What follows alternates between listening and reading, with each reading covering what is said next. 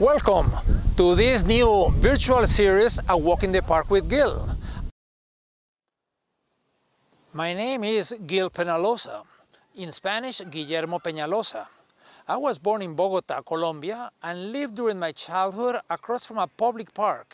My parents say that actually I lived in the park. Many years later, I served as Bogota's head of parks, sports and recreation magnificent opportunity. I led the design and construction of over 200 parks, from Simon Bolivar Park with over 100 hectares to multiple neighborhood ones, mostly in low-income areas. We also took a program called Ciclovia with a few kilometers and turned it into the world's largest pop-up park. Over 120 kilometers, car-free streets, where every Sunday over 1 million people walk, run, bike, shop, socialize, and mostly enjoy the presence of each other.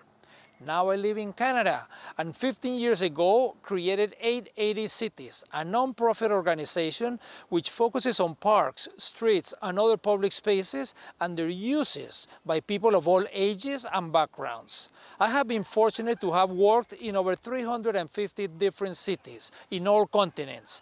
Everywhere I have visited parks and learned from them I was elected chair of World Parks twice and now serve as its ambassador.